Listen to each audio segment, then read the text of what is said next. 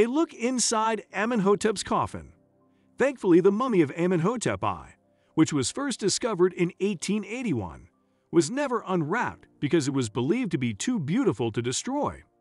For over a hundred years, Egyptologists have been desperate to take a look at the face of Amenhotep.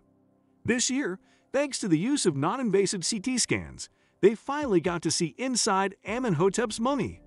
The team based at the University of Cairo was struck by how much the mummy resembled his father, Ahmose.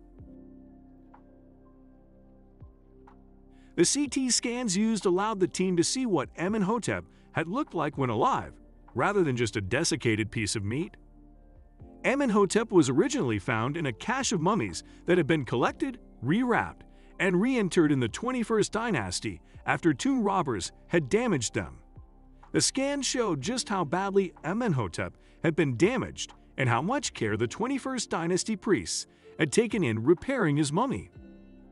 His neck had been broken when looters had torn off a necklace, and the priests carefully reattached his head with a resin-treated linen band.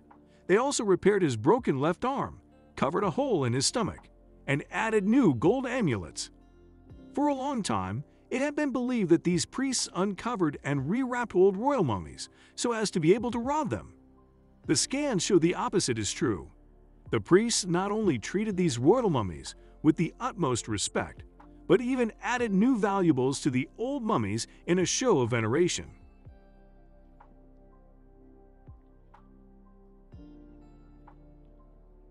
Endurance at the bottom of the sea. Few archaeological discoveries grab headlines like the discovery of a long-lost shipwreck. 2022 was the year that the long-lost ship of the legendary explorer Ernest Shackleton, the Endurance, was discovered. The ship first sank off the coast of Antarctica in 1915.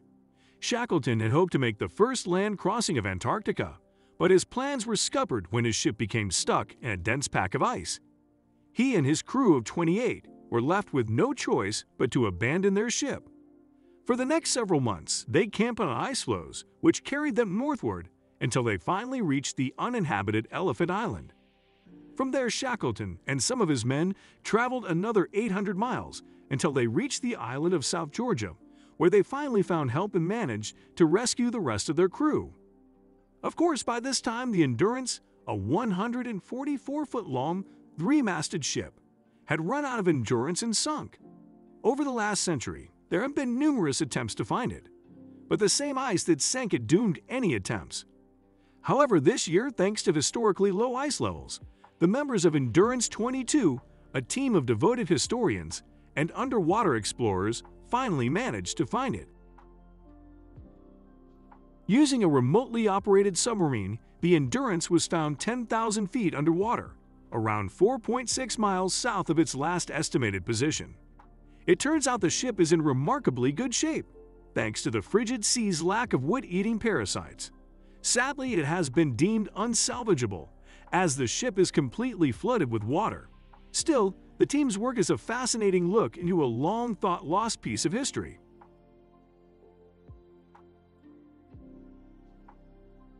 mammoths in Devon, England.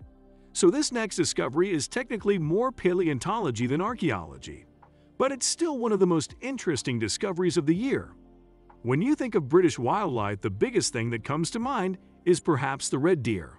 And the most dangerous thing that comes to mind might be a particularly grumpy badger. It turns out that not that long ago British wildlife was a bit more exotic. During the construction of new houses in Sherford, near Plymouth, some rather peculiar bones were found in a previously undiscovered cave. A team of archaeologists, led by Rob Bourne, was brought in. They discovered the bones of mammoths, woolly rhinoceros, and hyenas in a cave that had been uncovered during construction.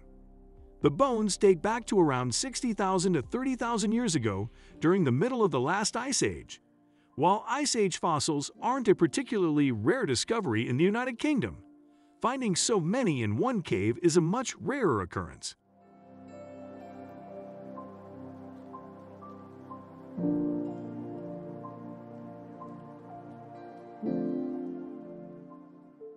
The discovery of Queen Neith's tomb in Egypt. In November of 2022, the tomb of Queen Neith was found at the ancient necropolis of Saqqara. A previously unearthed pyramid was discovered, which held 300 coffins and 100 mummies, as well as a series of interconnected tunnels. What made the discovery so exciting was archaeologists had no idea who Neith was when she was unearthed.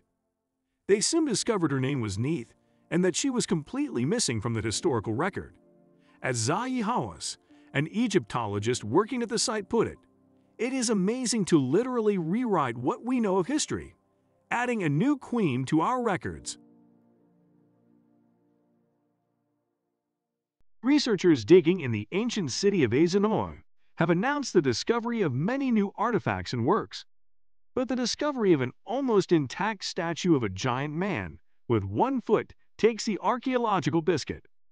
The ancient city of Aizanoi was founded as a Phrygian city on the western end of the Phrygia kingdom, in the present-day Çavdarhisar district of the western Anatolian province of Kütahya in Turkey.